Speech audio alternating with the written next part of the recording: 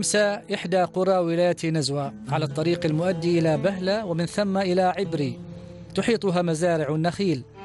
سميت بطيمسة لأنها منطمسة عن العيون مستترة بين الجبال وكانت وقتها تسمى عملة وهي تسمية قديمة أيضا نسبة إلى المعامل فكانت معروفة بالتعدين.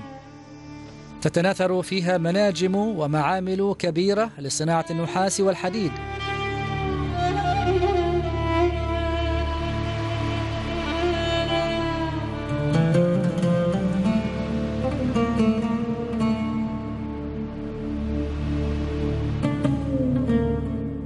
الذي أعرفه إن الحارة لا يقل عمرها عن 300 عام. ما عدا إن الجامع شيء في تاريخ موجود الجامع الموجود في داخل الحارة آه، في يعني آه، يعني بآخر بناء في عهد الإمام محمد بن عبد الله الخليلي رحمة الله عليه. هذا التاريخ اللي موجود في الآخر. أما الحارة هي لا أقل من 300 عام على حسب ما خبرونا أبانا وشيابنا.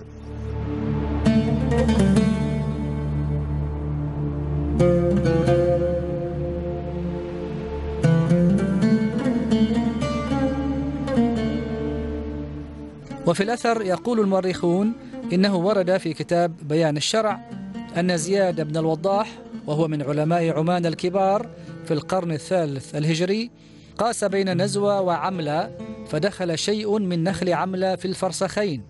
فكان يقول إذا أردنا أن نصلي خرجنا من النخل إلى واد غرب القرية ثم قصرنا.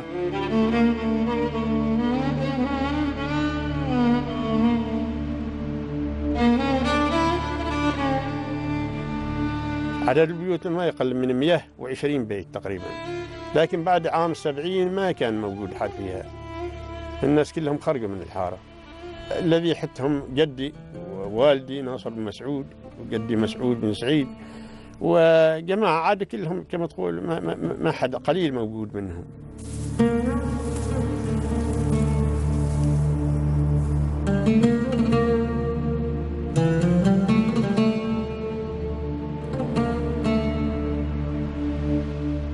الحارة القديمة من أهم الآثار الباقية في طيمسة بقيت شاهدة على عراقة الماضي وجلد الأجداد.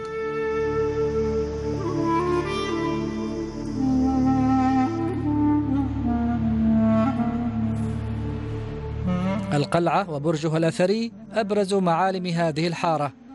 يجاورهما المسجد الأثري ومدرسة تعليم القرآن الكريم. وكان لهذا الثراء المعرفي إنتاج علمي عرفت به الحارة في عصورها المختلفة.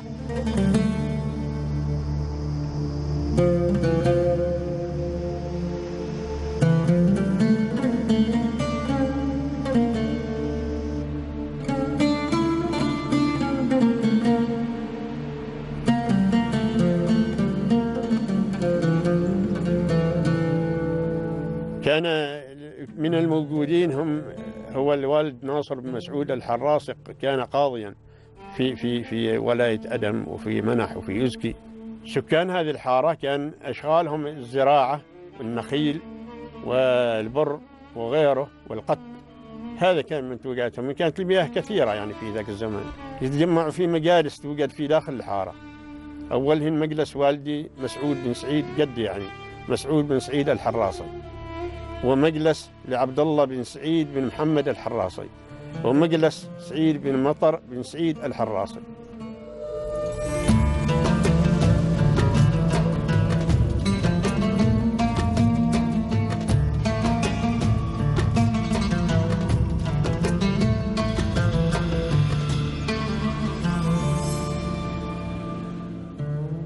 البرج مبني بالجص والحصى إلى منتصف ارتفاعه.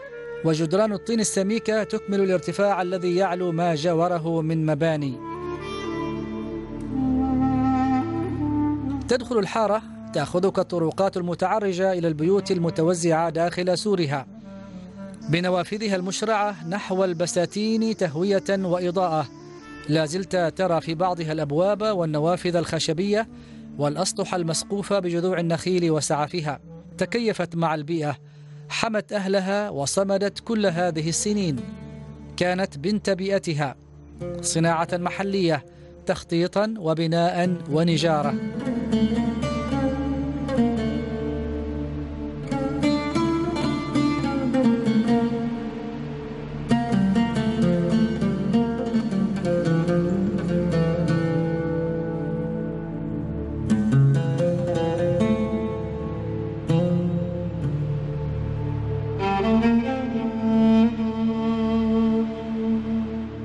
كانت شجرة نبو اسمها نبو هنا في داخل الحارة.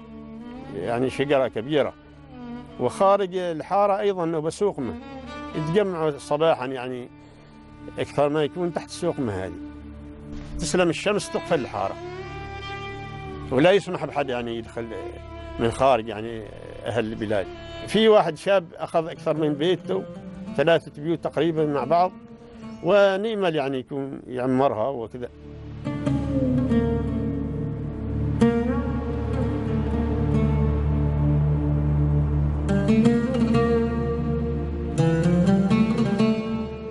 وقريبا من مرافق الحارة المسجد الأثري الذي تم ترميمه.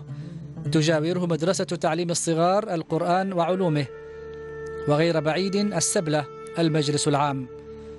وتحتها يجري فلج الصغير والقربصي. تتدفق نحو مزارع النخيل والمزروعات المتنوعة وتفيض بالحياة على المكان.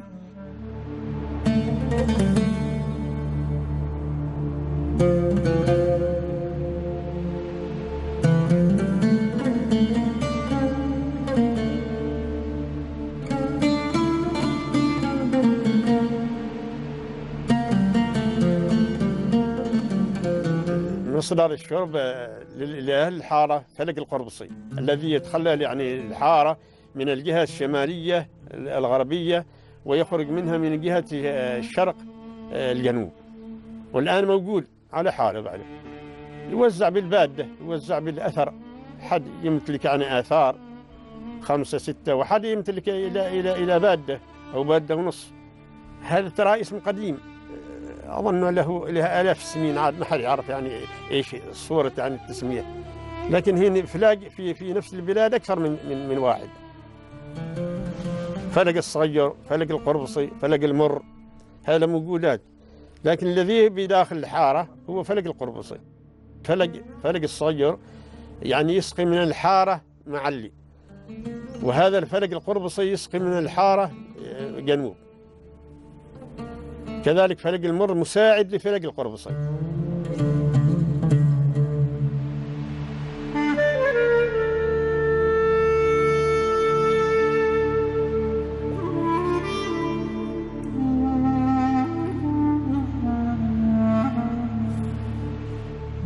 كانت تغري قوافل المسافرين بالتوقف في هذه المنطقة للراحة والتزود بالماء والتمر الذي عرفت بجودته فضلا عن توفره في مناطق مجاورة.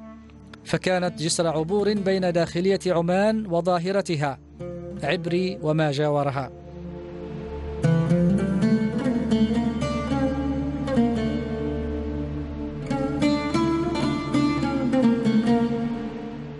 مخطوطات قديمة شيء كانت موجودة مع الوالد. على إنها قديمة وإلى اخره وإلى كانت حتى سابقا كانت ممتدة الحارة إلى إلى إلى أكثر من عن عن كونها تو. لانها هي البيوت متراصة وما كما تقول في في بعضها البعض.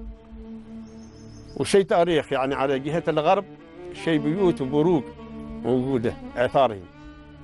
لكن خلف يعني السور على الموجود حاليا.